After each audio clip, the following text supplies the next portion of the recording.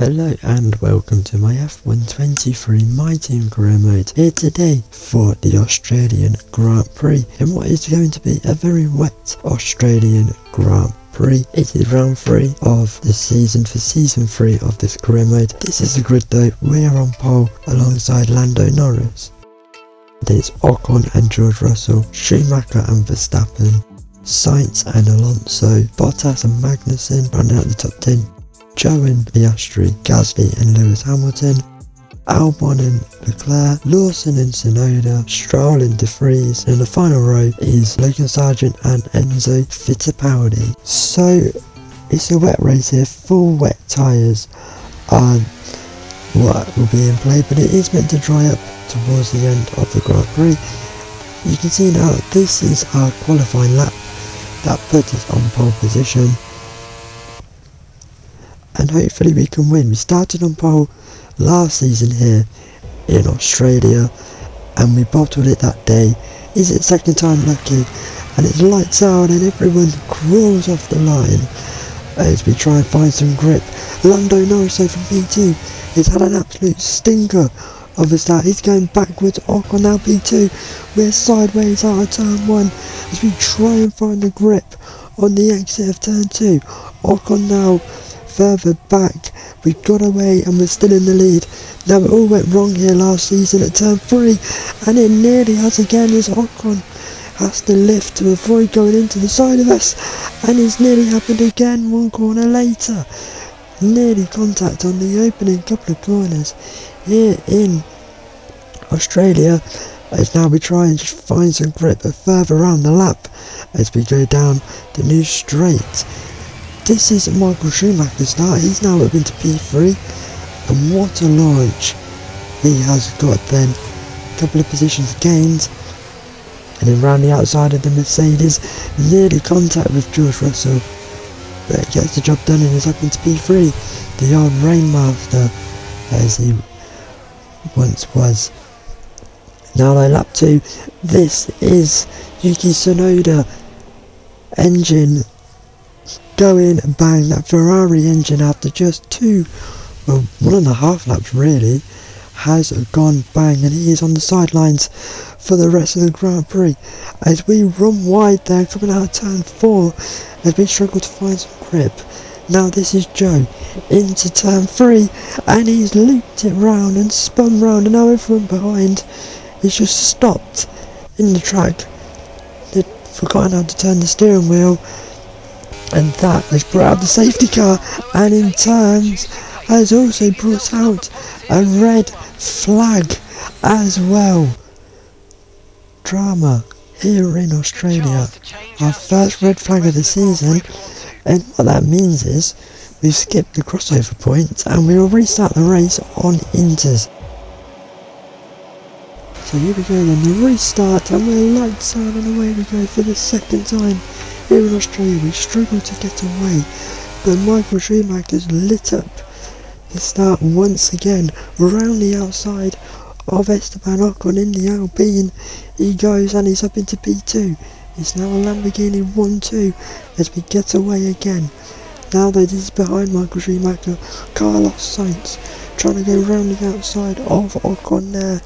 And it looks to be job done and it is job done. Ocon dropping from P2 to P4 in the early stages of the restart. Now this is Zhou with his spin earlier on bringing out the red flag. He's now pulling it, pulling off and out of the Grand Prix and it's a double DNF then for Alfa Romeo. Shocking here in Australia for him. Maybe that has something to do with the earlier incident. Maybe. This is us though. We were keeping the gap to around 4 seconds between us and Schumacher and we've made a mistake, we've spun the car around, we try and find some grip to get back onto the track and Michael Schumacher's hit us, so has Carlos Sainz, Schumacher's out, Sainz is out, we've dropped backwards, we've got a penalty and that's going to be our second red flag of the day. So this is a replay now of what happened we nearly lose it on the curb then nearly, and then we must just run wide. We drop the back end, spin round, try and find some grip to get going again and Michael Schumacher's just driven into the side of us. Carlos Sainz also in a party in that this is Schumacher's perspective then from round the corner. It's not his fault, he just had absolutely nowhere to go and we've wiped out our teammate essentially there. And now Carlos Sainz also being caught up in the incident as well. He just had nowhere to go either. Hits the back of us and wipes himself out as well. Now this is Ocon's point of view as he comes round and it's just going to be like Moses as three cars just go into the wall or out of the race. He has to dodge his way through the debris like Lightning McQueen. And now Fernando Alonso is slowing down and just turning to the back of the McLaren and then turned into the back of the Ferrari. Alonso having a bit of a dim moment there. But the rain now has stopped. So I don't think it's going to be long before we see dry tyres here, but it is still very wet on the track. As we get going again, Ocon now leads the Grand Prix. We have a penalty, so if it does dry up, that's going to be a factor. But we go around the outside of Ocon, retake the lead of the Grand Prix. The red flag helping us, otherwise we would have been down and out in this race. But we lead the Grand Prix once again here in Australia. Now, the end of lap 16, this is Logan Sargeant boxing through the mediums. He feels like it's dry enough for the dry tyres. I very much disagree as we nearly drop it coming out of that quick chicane. Look at the track, it's still so damp now. But you've got to follow the crowd in races like this. As Ocon tries to go around our outside, and now it's left vulnerable to Lewis Hamilton there behind. No, George Russell behind, but Ocon fends him off. But like a wise man once said, you've got to be on the right tyres at the right time. So although I don't think it's ready, we've got to go for it. As we box now on the end of lap 17 for our one and well, our third stop of the day, our first really, because the other two have been under red flag. So we have to sit here now as we serve our stop go penalty. Everyone's floating through, we're going to go on to softs, everyone else going on to mediums. As we come out, and that's a bit of an unsafe release. As we come out ghosted between the Mercedes of Lewis Hamilton and the McLaren of Piastri and now we're just about finding some grip as there's just 10 laps to go now in this very dramatic Grand Prix. As down the inside of us goes Oscar Piastri. We hold it to the outside of him. And keep him behind for now up is the Ferrari of Charles Leclerc ahead of us.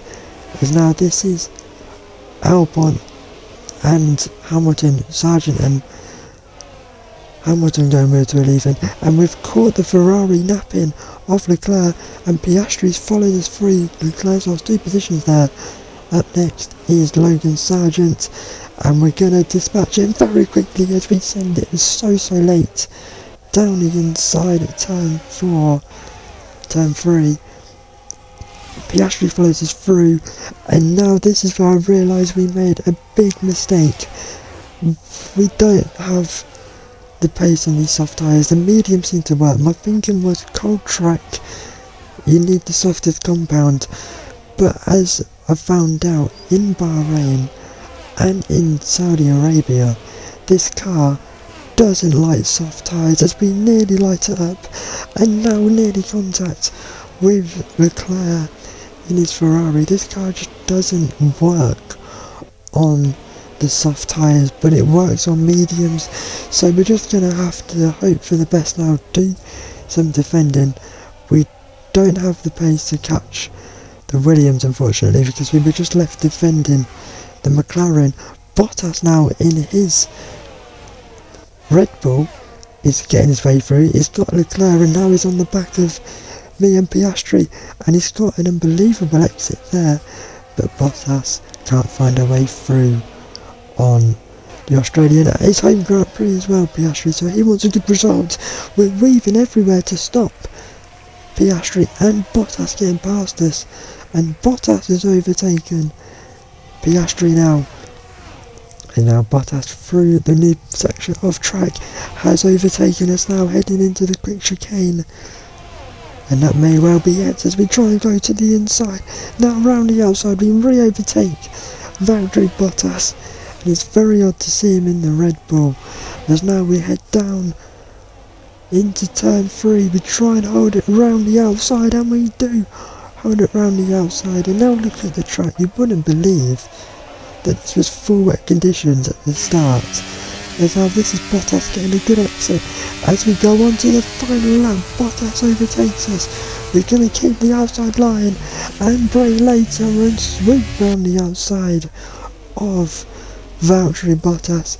But now this man, George Russell, kept his nose clean whilst everything was so dramatic round him and he's going to make it back to back wins in Australia. But now where are we going to finish? Currently P9. Bottas goes to the outside of SB, squeezing right to the outside.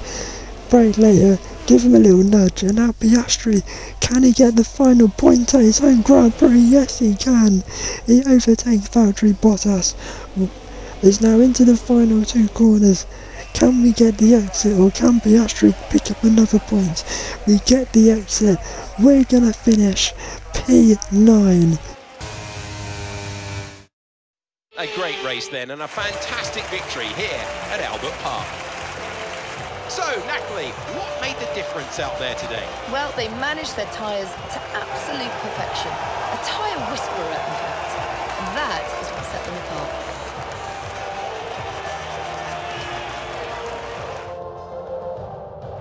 Mercedes are on top form once again after an excellent race weekend. It's great to see them up on that podium once again.